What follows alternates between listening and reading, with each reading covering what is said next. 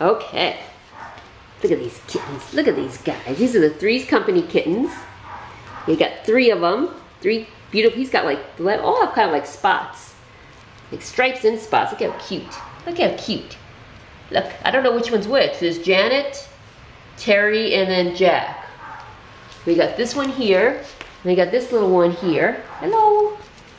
Hello. And then we got one over here. Hi. Hello. Hey you. Hey. They're really cute. Very, really cute faces on them. Adorable. I love tabbies. They look like little tigers. Yes, they are. They're getting big. They're about, I don't know, they're probably about 11 weeks old now. You guys are getting big. Yeah.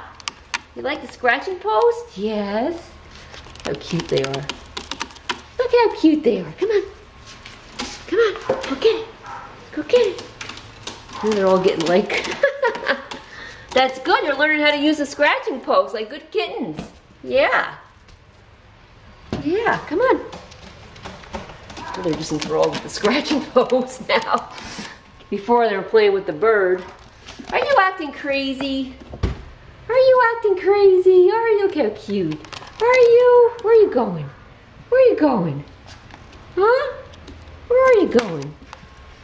You're cute. You're just cute. I don't know which one's which. They said that Jack was bigger, but now they all kind of look the same to me. You look like a boy. I think you're the boy. Look at that little boy face. But anyway, we got three kittens. we called the Three's Company kittens. Chrissi was a gray tabby. She already got adopted. Now we got these three brown tabbies left. So they're just, just adorable. Look how cute. Just adorable. They're just friendly, lovable, playful. Very, very cute. Okay. Thanks for watching, everybody. Bye-bye.